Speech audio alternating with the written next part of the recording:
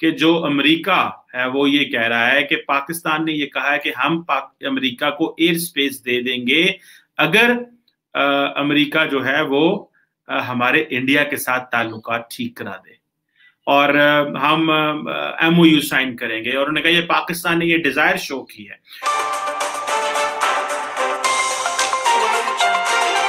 नमस्कार दोस्तों Avon news में आपका स्वागत है। तो आज हम एक और न्यूज़ के साथ इस वीडियो में आपको ऐसी न्यूज़ पता चलेंगी, जिसे सुनकर आपके होश उड़ जाएँगे और आपको सुनने में बहुत अच्छा लगेगा। आ गया ना उठ पहाड़ के नीचे। जी हाँ दोस्तों, आपने सही सुना, पाकिस्तानियों का है कहना अमेरिका को कि अगर आप हमारे इंडिया के साथ रिलेशन अच्छा कर दोगे तो हम आपको अपना स्पेस स्टेशन दे देंगे। जी हाँ दोस्तों, यह न्यूज़ हंड्रेड परसेंट रियल है। क्योंकि यह एक पाकिस्तान की जो एंकर है कमर चिया का यह दावा है कि पाकिस्तानियों ने कुछ इस तरह की मांग इस बार अमेरिका को की है दोस्तों। तो दोस्तों, पूरी न्यूज़ जानने के लिए इस वीडियो को लास्ट तक ज़रूर देखिएगा। यह बहुत ज़्यादा इंटरेस्टिंग होने वाला है। हम आपको मिलेंगे नेक्स्ट वीडियो के साथ। धन्यवाद। पाकिस्तान के लिए हर रोज एक नई कंट्रोवर्सी आ जाती है। जबकि इस वक्त पाकिस्तान के वज़ीर अजम सऊदी अरब हैं, पहुँच गए हैं और सुनने में आ रहा है कि वो एक दिन पहले चले गए हैं।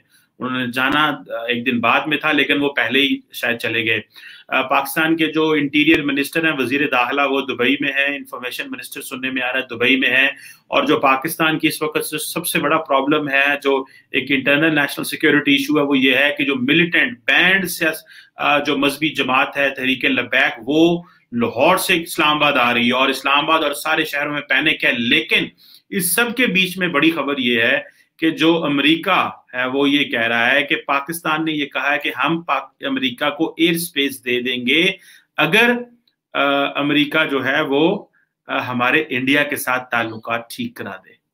और हम एम ओ यू साइन करेंगे। और उन्होंने कहा, ये पाकिस्तान ने ये डिज़ायर शो की है। तो इसका मतलब है, जो रिसेंटली अमेरिकन पाकिस्तान आए थे तो उन्होंने जारी बात है, बहुत सारी ऑप्शन टेबल पे रखी होंगी। तो ये जो चीज़ है कि अगर हम एक memorandum of understanding MOU sign करने को तैयार हैं अगर अमेरिका जो है वो हमारे इंडिया के साथ रिलेशनशिप को मैनेज करने में मदद करे और जो ये एक, एक बहुत बड़ी चीज़ है। जबकि मज़े की बात है कि पाकिस्तान के जो फॉरेन ऑफ़िस है वो उसने कहा है कि नहीं ऐसी कोई बात नहीं। और अमेरिका ने ये भी ये बेसिकली सीएनएन की रिपोर्ट आई है जिसके लिए जिसको मैं कोट कर रहा हूँ। और पाकिस्तान के फॉरेन ऑफ़िस ने इसमें नो कहा है कि ऐसी कोई बात नहीं है।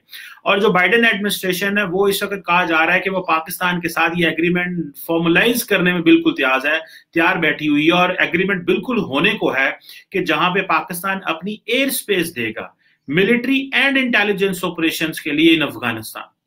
और इस पे जो सी एन एन ये कहता है कि हमारे पास तीन सोर्सेज हैं जिनसे हमने ये बातें पूछी और कांग्रेस में इधर उधर और जगहों पे भी जिन्होंने हमें ये कंफर्म किया है तो ये हमने खबर दी है।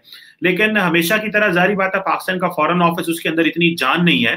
क्योंकि देखें, इमरान खान साहब तो कहते हैं एब्सोल्युटली नो अब एब्सोल्युटली नो जो है वो एक इंपॉर्टेंट चीज़ है कि इमरान खान साहब क्या उसकी प्राइस पे करनी पड़ेगी। इमरान खान साहब चाहते हैं कि इंडिया के साथ ताल्लुकात नॉर्मल हो।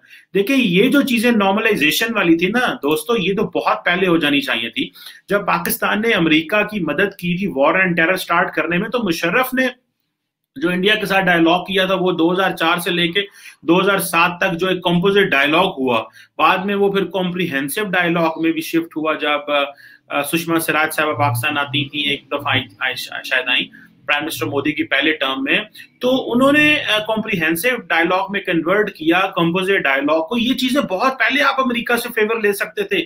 अभी जब अमेरिका जा रहा है तो आप इंडिया के बारे में ये फेवर लेना चाह रहे हैं कि जी इंडिया हमसे, वो हमारे से नॉर्मलाइज करे। अब इमरान खान साहब इंडिया के बारे में भी बड़ी पोजिशन दे चुके हैं, ले चुके हैं। हमने बात नहीं करनी। और इन्होंने कहा था, इमरान खान साहब ने कहा था कि मैं, हम अमेरिका को बेसिस नहीं देंगे। लेकिन ये बात हो रही है एयर स्पेस की। सो दो जारी बात है अलहदा चीज़ें हैं क्योंकि अमेरिका जो है वो मिलिट्री एंड इंटेलिजेंस ऑपरेशन करने जा रहा है। तो अब देखना यह है कि क्या इमरान खान साहब क्योंकि जनरल पब्लिक के अंदर पाकिस्तान में इतनी मेच्योरिटी नहीं है कि वो समझ सकें कि बेसिस में क्या फ़र्क है और हवा में जो है वो आ, हवा एयर स्पेस इस्तेमाल करने का क्या फ़र्क है। उन्होंने कहा लो जी दे दी। अब क्या पता है कि वो वाकई कहीं पे क्योंकि माजी में तो इस तरह होता रहा है।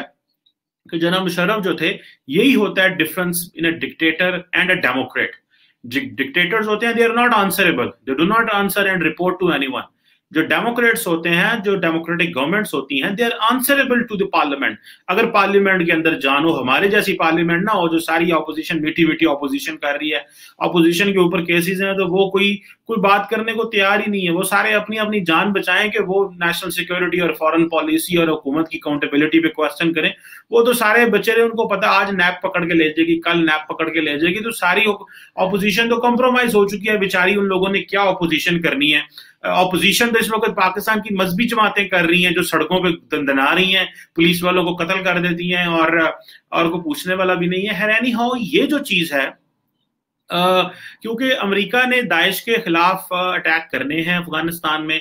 और आपको याद होगा कि अभी भी सुनने में आ रहा है कि जो अमेरिका जो है वो पाकिस्तान की एयर स्पेस इस्तेमाल कर रहा है। जो माजी में जो इंटेलिजेंस गैदरिंग एफर्ट्स जो हमारे निगोसिएशन हुई थी उसके लिए जो इंटेलिजेंस गैदरिंग जो थी उसके लिए।